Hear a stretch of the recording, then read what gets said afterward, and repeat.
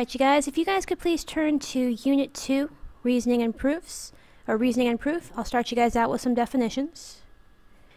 Alright, let's take a look at some of these. I'm going to actually start with conjecture. A conjecture is an unproven statement that is based on observations, so kind of like an educated guess based on things that you've observed.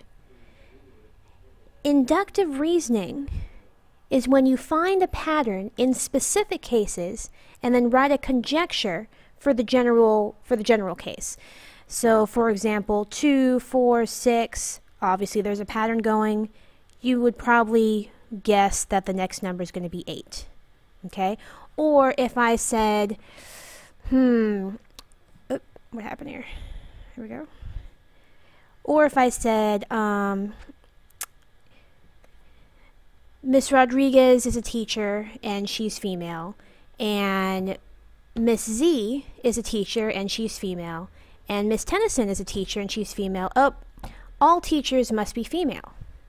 Okay, that would be a conjecture based on st something that I observed, but it would be an incorrect thing. So inductive reasoning is not always correct. Deductive reasoning um, uses facts, definitions, accepted properties, the laws of logic, um, all of these things to form a logical argument. Okay? This is different from inductive reasoning, which uses specific examples and patterns to form a, form a conjecture. Deductive reasoning has to be true. Your, the, the conclusion you come to is going to be is going to be accurate. So for example, x plus 2 equals 4, obviously in this case x has to equal 2. We're not guessing there. Based on this information, this has to be, this is the conclusion that you have to draw. Okay?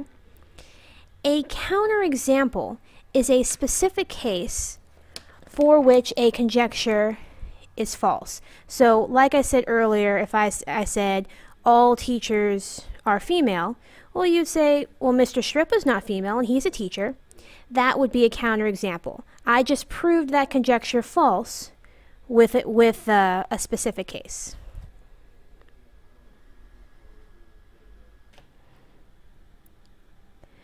All right. A conditional statement is a logical statement that has two parts. Ah. A hypothesis and a conclusion. Okay? When a conditional statement is written in if-then form, kind of like this one down here, the if part contains the hypothesis and the then part contains the conclusion. So here's an example.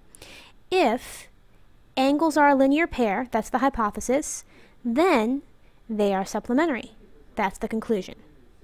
All right? The converse, to write the converse of a conditional statement, you basically just exchange the hypothesis and the conclusion. So the converse of this statement would be, if angles are supplementary, then they are a linear pair. Okay? To write the inverse, you negate both the hypothesis and the conclusion. Okay? The negation of a statement is the opposite of the original statement. So in this case, it would be if angles are not a linear pair, then they are not supplementary. Okay? Um, to write the contrapositive, you first write the converse and then you negate both the, it, it's basically the inverse of the converse. So this is P implies Q, this is Q implies P, this is not P implies not Q, and this is not Q implies not P. So the contrapositive of this would be if angles are not supplementary, then they are not a linear pair. Okay?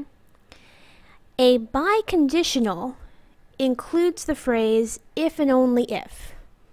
Okay, so um,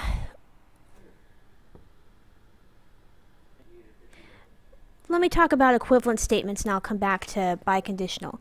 Um, a conditional statement and its contrapositive are either both true or both false. Okay, so for example, in this case, if angles are a linear pair, then they're supplementary. If angles are not supplementary, then they are not a linear pair. Both of those statements are true. Okay, likewise, the converse and inverse of a conditional statement are either both true or both false. In this case, if angles are supplementary, then they are a linear pair. That's not true. If angles are not a linear pair, then they are not supplementary. That's not true either. Okay? Pairs of statements such as these are called equivalent statements. Um, it, basically, anytime both these statements have to be either both true or both false, they're called equivalent statements. Okay? When a conditional statement and its converse are both true, then you can write them as a single biconditional statement. So let's imagine for a moment that the, the conditional and the converse were both true. Basically, all four of these statements here were true. Okay? You could write this as angles are a linear pair if and only if they are supplementary. IFF is my abbreviation for if and only if. Okay, so if the conditional and the converse are both true, you can write that like that. Um, any valid definition can be written as a biconditional statement. Alright, the law of syllogism and the law of detachment.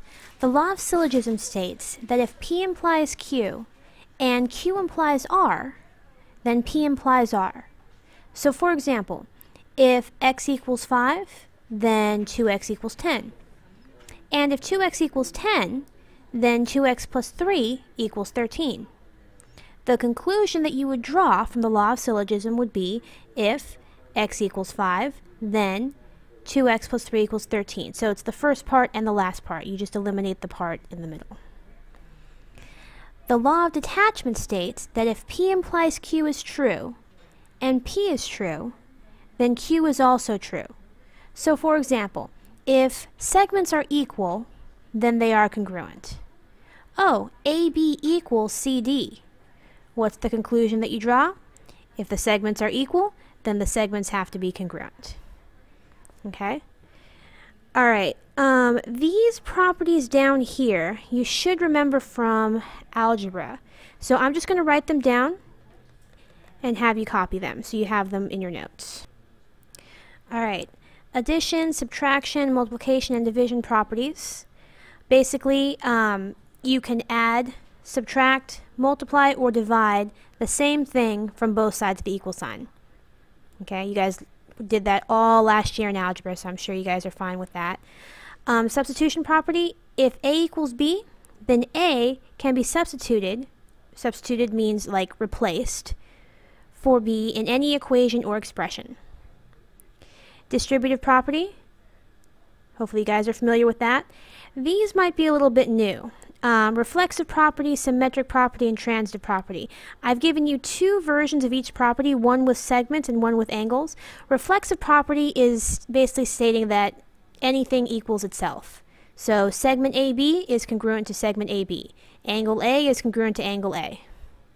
Symmetric property, if segment AB is congruent to segment CD, then you can flip them around then uh, segment CD is congruent to segment AB. Likewise, if angle A is congruent to angle B, then angle B is congruent to angle A. Transitive property, if segment AB is congruent to segment CD and segment CD is congruent to segment EF, then segment AB has to be congruent to segment EF. And the same thing with angles. If angle A is congruent to angle B and angle B is congruent to angle C, then angle A has to be congruent to angle C. Alright, last row. Alright, right angles congruence theorem. This theorem states that all right angles are congruent. Seems pretty obvious, but there's actually a theorem that says it.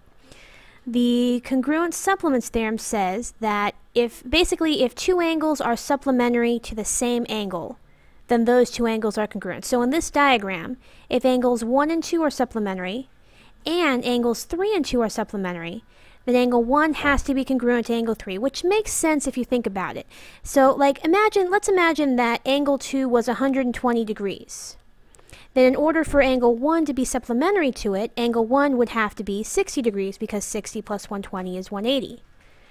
But if angle 2 is 120 and angle 3 is also supplementary to angle 2, then angle 3 has to be 60 degrees because those would add up to 180. But that would mean that angle 1 is 60 degrees and angle 3 is 60 degrees, which, which makes them, them congruent. Well, that, that, that works for any number you pick for angle 2. The same thing for complementary angles. If angle 1 and angle 2 are complementary and angle 3 and angle 2 are complementary, then angle 1 has to be congruent to angle 3. Alright, and that's it for Unit 2.